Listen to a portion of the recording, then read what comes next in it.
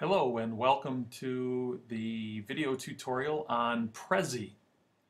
Prezi is a presentation software. It's kind of like PowerPoint kicked up a notch.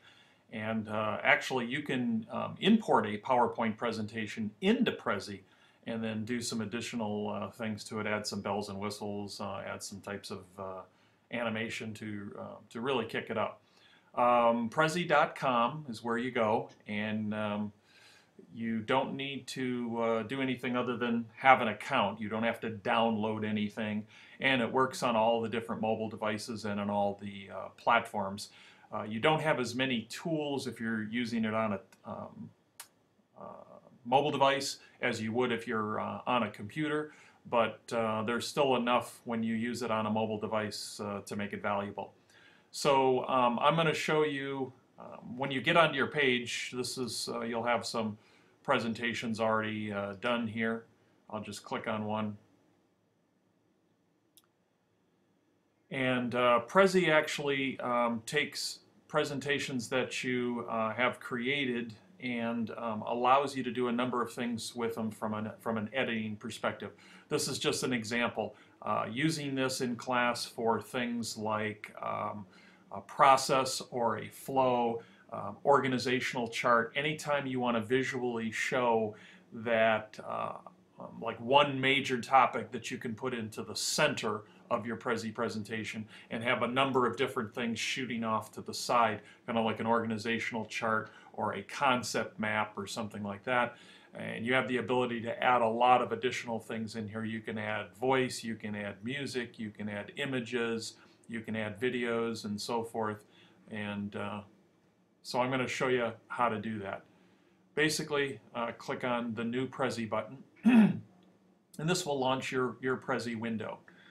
Now, basically, when you're, you're working in, in Prezi, um, you, you want to kind of think through a little bit uh, how you're going to lay things out in the flow. You have the ability to edit it, which is really great along the way but you may want to have an idea of the flow because that's going to help you. At this particular point, you can see there's a whole bunch of new um, templates, a list of templates here that's been around for a while. Um, they can You can kind of look at them, check them out. If you're working on a Prezi with one template, you can just bounce back and forth between other templates just to see what your thing would look like. And if you go all the way down to the bottom, sometimes this is at the top, you can actually start from a blank and, and build it from from square one. So number of different templates to play with. Uh, again, just depending on what you want to do, I'm just going to choose this one. Explain a topic. So basically, if you look over here to the left, this is your start slide, if you will. In Prezi, they call these frames. And this order from 1 to 2 to 3 to 4 to 5 to 6 shows the movement or the animation of your Prezi. And then you always wrap up, in this case, the seventh slide is taking you back to the beginning. So the slide 1 and slide 7 is going to look the same. Again, these individual things are called frames. Okay, Let's talk about some of the menu areas. Uh, along the top here, present, we'll get to that in a second. Once you do something, you have your typical undo and redo. You also have the ability to save. Understand that this is an auto-save format, so you don't find yourself using this a lot. Frames and arrows, we'll talk about that in a second. We'll talk about insert in a second. We'll talk about themes in a second. And then at the end, you have the ability to share, which is kind of important. You can share this presentation, send it to an email to some people. You can pop it on Facebook. You can download it as a PDF or as a portable Prezi file, and, and you're good to go. Uh, usually sharing the Prezi, sending it to somebody in an email, whether it's uh, you know your instructor having students send something to you, um, or sharing it with other students just using an email address sometimes that's pretty, uh, pretty easy to do and that might be the way that you want to go. Themes. This is um, primarily, you, you can do it at this particular point once you've kind of chosen one or revert to the original. But a lot of times you'll use these themes if you're starting from that blank presentation area. And you can actually start with a blank and do a bunch of editing and modifying, and then you can create a current um, type of a theme and give it a name. So you can actually build one over and above the ones that are already in here. So I'm going to click off of that. So let's uh, start working on a Prezi, show you how easy it is to do. Um, I've just clicked on this particular slide. You can do it here. You can do it over the side. Anytime you click in any particular area of some white paper area, you can enter a text uh, item. You have three different um, types. Uh, there's a kind of a title. This would be like a, a, heading, like heading one, heading two, heading three type of a thing. As far as the size and the type of font, you do have the ability to adjust that or choose that if you're going to use a blank template. It's already defaulted for you if you uh, grab one of the themes. Once you actually enter some text, you have the ability to adjust the size.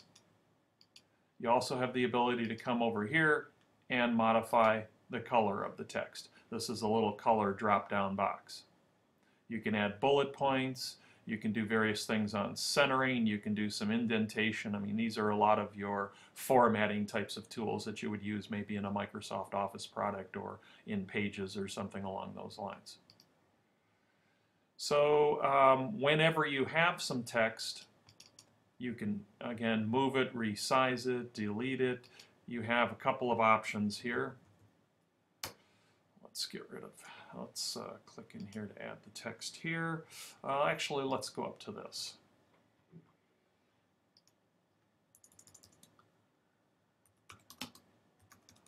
I'm just going to call it test presentation. Now again, I can increase the size. I can change the font color. Let's change it to red. And we're good to go. Now I also have the ability to extend this out or shrink it back. Once I click out of it, I can grab it and I can move it where I want to.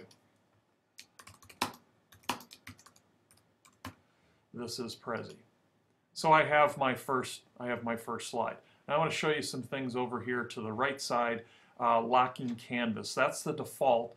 That means that once you place things in here and you save this thing, um, the fact that you want to click on it and change it to an unlocked canvas allows you to do more things. You have the ability to zoom in, zoom out. You can go back and forth to the home screen and so forth. That's going to be real nice for you. So let's talk about some of the other things that you can do. Let's assume I'm done with this particular uh, slide. I'm going to add this here. And you'll notice when I click on that, I got a plus, I got a minus, and I got a hand. If you click on the hand, it allows you to drag. The plus makes it bigger, the minus makes it smaller. Again, the hand allows you to drag. You'll also see two other ones. I'm going to assume the one on the right is self-explanatory. As you hit delete, it eliminates what you have there. Edit text gives you some choices. Again, primarily what you'd want to do here, you might want to do some of the bullet points, but usually where you're coming here is to change your color. And we're good with that one. So now let's head on to uh, the next slide. We're going to go on to slide three. Remember the first one was the start. Uh, again, clicking into the box. And we're going to call this insert one. Um, actually, rather than adding some text right now, I'm going to go up and I'm going to insert an image. So you click on the little insert drop down. There's a number of different things that you can do here. I mentioned earlier that you can import an entire PowerPoint presentation. When you do do that, it gives you an individual frame for each one of the slides and then you can go in using Prezi and do all kinds of editing and modification in there. You can add voiceovers, uh, background music, so forth. For right now, we're just going to add an image. So you have the ability to go look for an image in Google or you can actually choose one that's already on your machine someplace. So I'm going to do that one. I'm just going to go into photos here and I, I have this image that I want to put in. Now again, the image is now in. I have the ability to do all kinds of different things. I can blow it up. I can um, grab one of the uh, corners and pull some movements over there. You'll notice that every now and then when I hit the corner, I get this little round circle. This allows me to rotate in case for whatever reason I'd like this to be on a little bit more of an angle. You know, I can go ahead and do that. Again, shrink it down, and then I got this box. Inserting a photo. Then again, click out of the box and I'll click on this to edit. Maybe I want to change the color again. Let's change it to this green. And frames and arrows. So let's show you what you can do there. You can draw an arrow. And then I have the ability with style. I have a few colors that I can change it to. Okay, so we got something going on right there. Again, I'm just zooming in, zooming out, zooming in, zooming out. Okay, uh, that was insert one. Let's go to another slide here. Oops, got to type in it actually. So you got to click insert two. And let's go back to insert and insert a YouTube video. Now I happen to have gone out earlier and I found um, I found a link for something that I wanted to put in, so I'm going to go ahead and do it. This is actually pretty cool. This is a, a sixth grader that's built a couple of apps already. So um, again, size it, move it, do whatever you want to do with it, put it where you need to be. You're good to go. We got this little text area here. I'll call it inserting a video. And again, put it where I want to put it.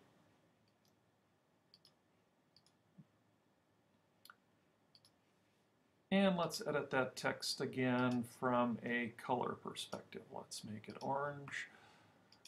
And we can have, uh, let's draw another arrow here. And I can grab these little handles and make them a little larger. Also, uh, we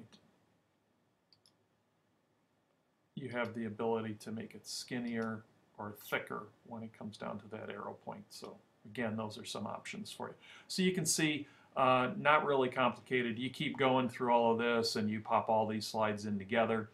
Um, if you wanted to uh, add an additional frame, you can go back up in here. In this case, we got a circle, so draw a circle frame and we can um, put that anywhere we want to add an additional thing. We still have other ones here, so um, you can go ahead and add more information into these other frames. But if you, for purposes of what we have here, we essentially have six, and then again, seven is the one that we had before. And so we decided that, um, you know, we don't, if we need more than that, we can add one after six. Seven always goes back to the first one. It always reverts there. Um, then again, you might have said, well, you know, we'd like to make these in a different order. It's pretty much just click and drag to move it where you need to be. If you decide that you'd like to add something between insert 1 and insert 2, go ahead and move that where you need to be. And then when you're all set, you want to check it out along the way, all you have to do is come up in here and hit present. And it starts processing. Allow full screen, say yes, and then go to town.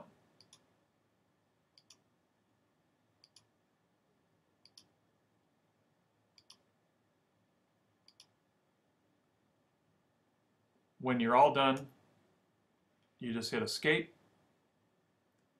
and you're back to where you started. If you feel like you needed to change something after review, you wanted to add some files, um, all that kind of stuff, you're good to go. Another thing that you can do in the in the presenter mode, oops, I didn't want to do that.